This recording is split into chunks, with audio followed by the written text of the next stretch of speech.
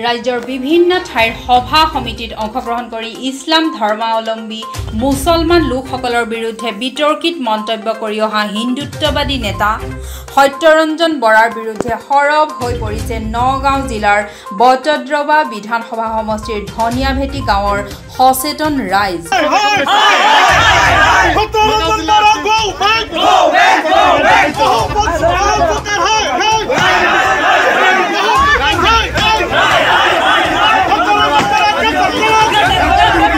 মঙলবাৰে স্থানীয় সচেতন ৰাইজে বটদ্ৰৱা বৰি বজাৰ সংযোগী গড়কাপ্তানী পথৰ ধনিয়াভেটি বজাৰত সত্যৰঞ্জন বৰাৰ বিৰুদ্ধে প্ৰতিবাদ সাব্যস্ত কৰে।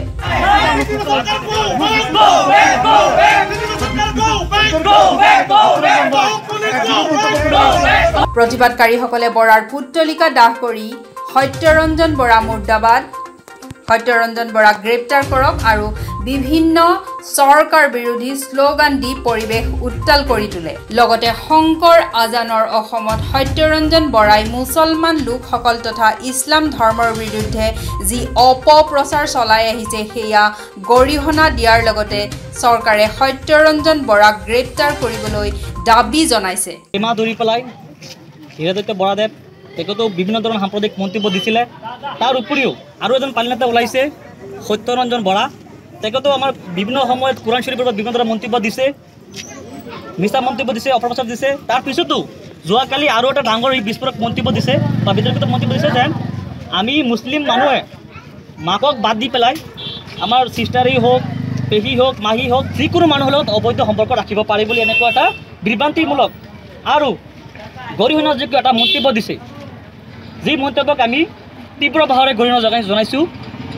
আমি তেখেতক এটা কথা স্পষ্টকৈ কৈ দিব বিচাৰিছোঁ যে বাৰে বাৰে অসমখনৰ যি মিলা প্ৰীতি আছে যি ভাতৃত্ববোধ আছে শংকৰ আজনৰ অসম হয় যাতে সেই হিন্দু মুছলিমৰ ভাতৃত্ববোধো ইয়াত বজাই থাকে।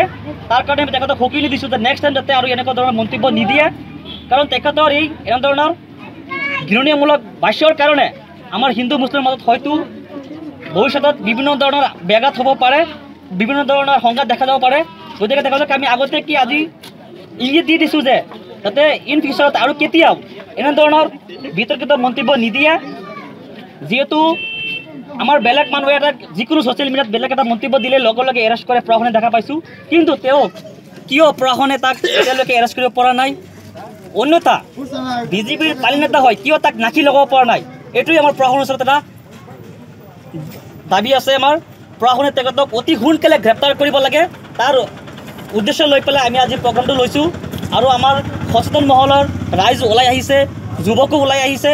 আমি ইন ফিউচাৰত ইয়াতকৈ আৰু গৰিহণাযোগ্য আৰু ডাঙৰ এনেকুৱা ধৰণৰ আৰু ডাঙৰ আমি প্ৰগ্ৰাম কৰিম বুলি আমি আশা ৰাখিছোঁ। বটদ্ৰৱাৰ পৰা দিলদাৰ হুছেইনৰ ৰিপৰ্ট অসম